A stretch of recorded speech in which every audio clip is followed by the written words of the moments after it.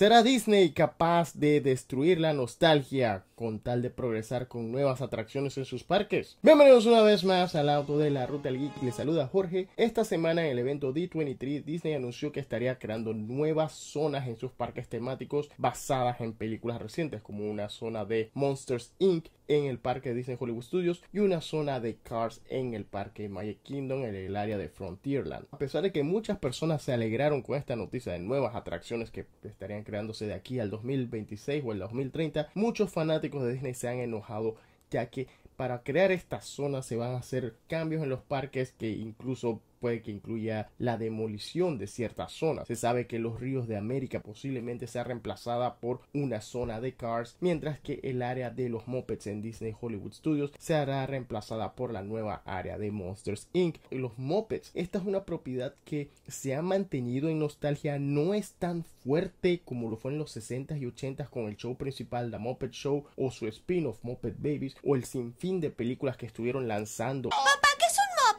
Pues una mezcla de muñeco con rasgos de animal. Según Jim Henson, era un nuevo tipo de marioneta que no solo iba a tener una nueva tecnología, sino que iba a tener un tipo de inmersión total bajo los creadores y bajo los manipuladores de las marionetas para que la interacción con ellos fuese como de la misma relevancia de un actor de carne y hueso. O sea, siempre fue la intención de Jim Henson que se pueda apreciar en el documental Idea Man que está en Disney Plus. El éxito de los mopeds y las tecnologías utilizadas llevaron a la compañía de Jim Henson a crear nuevos proyectos, proyectos personales como Dark Crystal, Labyrinth, los alienígenas, tanto en Star Wars como en la serie de televisión Farscape, miniseries como Los viajes de Gulliver que también mejoraron lo que sería la composición de efectos visuales. Jim Henson fue una persona innovadora y él mismo dirigió esta atracción antes de fallecer, que era también parte de las negociaciones que él estaba haciendo con Disney. En la atracción que replica con efectos de teatro 4D lo que sería estar presente en un show de los Muppets, un show que empieza todo tranquilo pero que poco a poco se va convirtiendo en un caos total, que incluye desde los chistes malos de Fossil, los viejitos del balcón, algo explotando en algún lugar, todo eso está incluido en esta atracción, solo que como mencionamos, esta atracción está rayando en la nostalgia. La compañía de Jim Henson recientemente colaboró en los efectos especiales y animatrónicos de la película de Five Nights at Freddy's e intentó diversificarse en una onda más adulta con la película Happy Time Murderers. Realmente esta atracción nunca tiene fila porque no tiene el interés de muchas personas. Y mucha gente se ha enojado ante la posibilidad de que vayan a demoler este teatro, lo vayan a remover en medio de tantos superhéroes, videojuegos, tablets, Fortnite y muchas otras actividades. Los Muppets se han ido perdiendo en el olvido y solamente son resucitados una que otra ocasión. Ah, sí, existe un remake de los Muppet Babies. Sí, se intentó una nueva serie al estilo de The Office llamada simplemente The Muppets. Se lanzaron dos películas e incluso un especial de la mansión embrujada, pero aún así no ha sido suficiente para mantener la franquicia viva. La atracción no era una atracción mala, cuenta con bastantes efectos visuales y Disney está considerando a destruir esta atracción.